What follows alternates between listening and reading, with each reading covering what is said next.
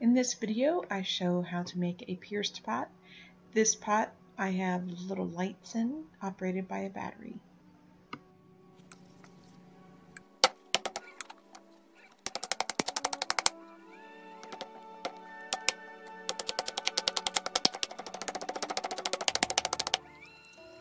In this video I wanted to make a pierced form. I'm going to be throwing a vase that I'm then going to pierce.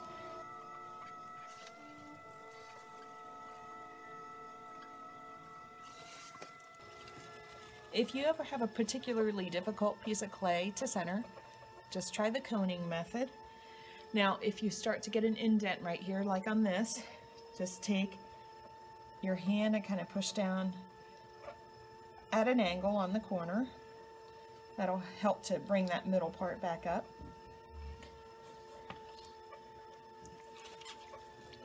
If you ever struggle though, coning is a really nice way to help you get it centered with a little less difficulty.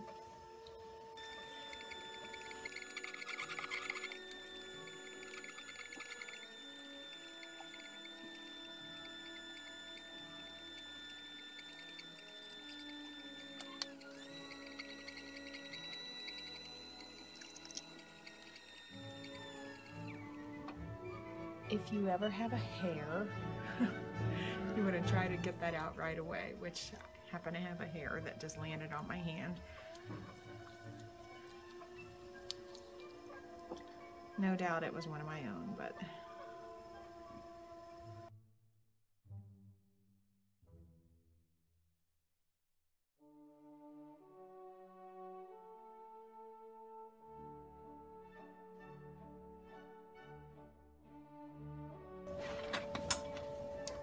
Since I'm going to pierce this, I'm going to try to make it as smooth as I can on the exterior.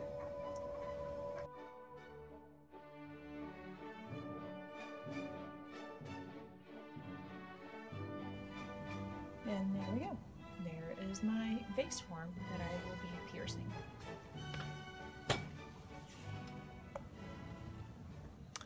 Okay, so my vase that I threw yesterday is leather hard. I need to kind of tidy up the bottom, if you can see down here. I'd like to really just take a rib, knock some of this off, give it a more, uh, have an angle down here. The angle will um, prevent any real thin edges from wanting to chip off and it also will give me a logical place to stop glazing. Okay, so okay, so I have the bottom of my uh, vase ribbed. I'm going to go ahead and start creating my uh, dots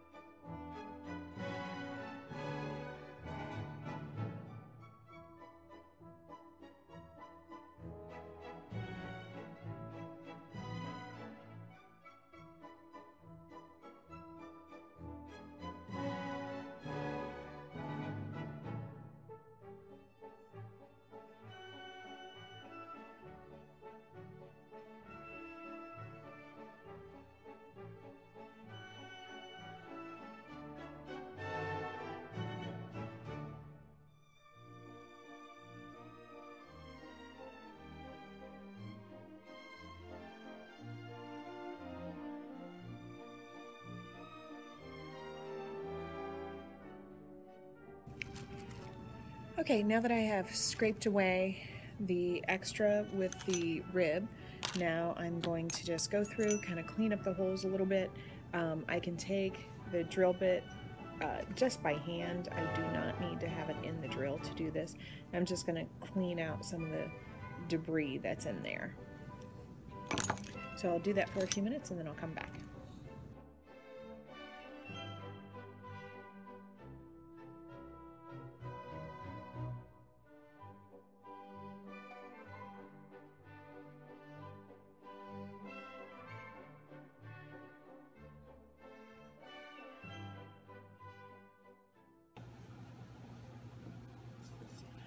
My fired vase has come out of the kiln. Now, because of the process of drilling this, it is very, very dusty. So I am going to uh, rinse it very well on the inside to get out any of the loose debris and dust.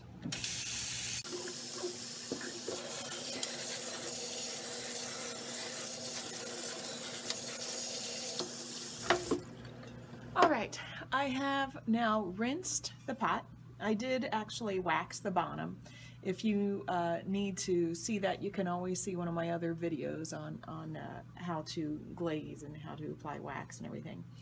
Um, I have taken a little needle tool and I've kind of pierced some of the holes just to clean out any debris that I might so see. as I look at it, sometimes there's just a little bit of debris that gets stuck in some of the holes.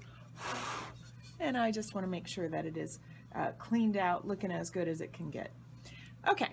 So I have my uh, glaze ready right here. This is a Coyote Peacock that I'm going to be using. I want to make sure it's mixed up well. And then I'm going to go ahead and dip it. Now, dipping something like this, it's going to definitely drain, and I am going to want to turn it upside down. I'm going to actually hold it through one of the holes because I find that to be kind of a nice way, and I don't think it's going to be too awfully uh, um, you know, distracting with the glaze if you happen to have a finger mark. So I'm going to dip it in, kind of rotate it around, make sure it gets totally submerged, and lift it up.